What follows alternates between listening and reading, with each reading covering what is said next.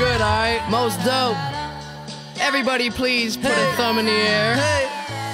One, two, three, four. Some crazy ass kids come to knock up on your door, so let 'em in, let 'em in, let 'em in. One, two, three, four. Some crazy ass kids come to knock up on your door, so let 'em in, let 'em in, let 'em in.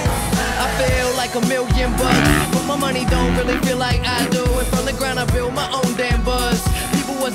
was still in high school, but now I'm out. And money what I'm about, trying to get so much that I can't keep count.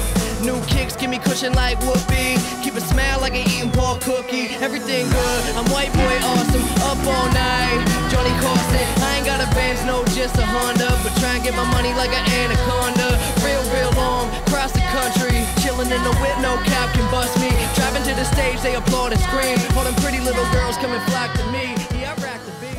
2011 was a pretty good seasoning, learning a lot year. I, I was able to compete in X Fighters, Dew Tour, ASA, and, and I improved like just the way I rode and my seasoning going into the events, going into practice, learning how to like actually go there and, and ride smooth, safe, thinking, and, and trying to pull all my stuff out. You know, it's a, it's a tough thing to really go in there and, and kill it like some of these guys do. So I just had to learn and, and build that confidence. So last year was cool. This year, going into 2012, I got a ride on Dodge Hart and Huntington Sycuan Cowies, this, this beauty behind me. And um, I'm just getting comfortable on it. I think the bike has five and a half hours on it right now, six hours. And just getting all my tricks down. It's a different bike and uh, having fun.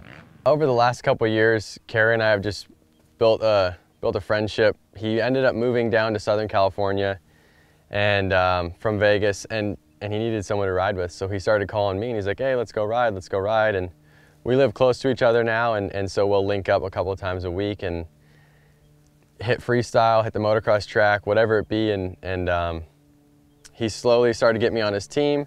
He's like, "Hey, why don't you get sponsored by Hart and Huntington? I'd like to have you on the team, this and that." And then um, and then it went for like a year like that and then this year he's like hey i want to get you more on the team like on like the supercross team almost and, uh, let's get you running our shroud running our bikes the whole deal so i jumped on and i'm loving it and uh, it's been really good i mean riding with Carey, he's he's a he's a guy that, that has a lot of knowledge with riding business and everything and, and i've learned a ton on my bike and just just my personality and everything has really, really changed. I've learned a ton just hanging out with him. It's crazy.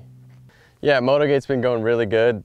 This year we added on three new products, maybe even four, depending on how you consider it. But uh, like at first we started out with just the cargo net with tie downs on all four corners. And um, it's super useful when you go out with a couple bikes and, and all your gear bags and stuff. And then adding to the line, we brought tie downs in. We have a really good carabiner, rubber coated, and uh, soft tie loop at the top. So tie downs are solid. And then um, we have a utility glove for, you know, unloading, loading, working on your bike. It has a rubber coated pinky finger. That way you can like grease your axle or put silicone on your pipe or any of that, you know, any liquid type of stuff and not have to like ruin your gloves. You can wipe it off because it's rubber coated. So the line's been going good and, and I'm stoked. I'm stoked to have a business, stoked to have something to do while I'm riding freestyle and kind of build it as I build my own career. The competitions last year, I noticed going to events, there was a lot of tight courses, stuff you really had to control the bike.